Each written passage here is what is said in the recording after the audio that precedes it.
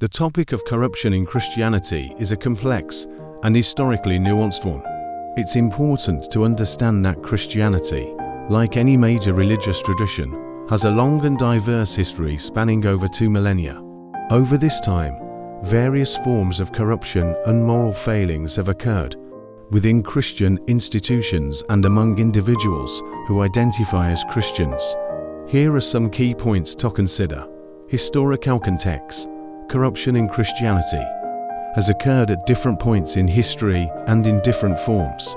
Some notable examples include the selling of indulgences by the Catholic Church in the late Middle Ages, political manipulation of Christianity for power and control, and instances of moral failings among clergy.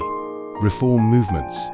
Many reform movements within Christianity, such as the Protestant Reformation in the 16th century, the Counter Reformation within Catholicism, and later movements like the Great Awakenings and the Social Gospel movement, were responses to perceived corruption and efforts to renew and reform the faith.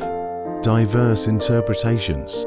Christianity is not a monolithic tradition, and it encompasses a wide range of beliefs and practices. Different Christian denominations and communities have varied interpretations of their faith and different responses to issues of corruption and morality. Positive contributions. It's important to acknowledge that Christianity has also made many positive contributions to society throughout history, including promoting moral values, advocating for social justice, and providing charitable and humanitarian assistance. Individual versus institutional corruption. Corruption can manifest at both the individual and institutional levels. While there have been instances of corruption among individuals who identify as Christian, it does not necessarily reflect the beliefs or teachings of Christianity itself. Ongoing moral debate. The question of corruption in Christianity continues to be the subject of theological and ethical debate within the Christian community.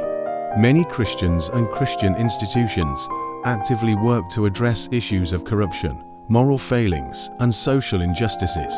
Interfaith perspective, it's worth noting that issues of corruption, moral failings, and ethical challenges are not unique to Christianity. They exist in various forms within all major religious traditions and human organizations. In summary, discussions about corruption within Christianity should be approached with an awareness of its historical context, diversity, and the ongoing efforts within the faith to address moral and ethical challenges.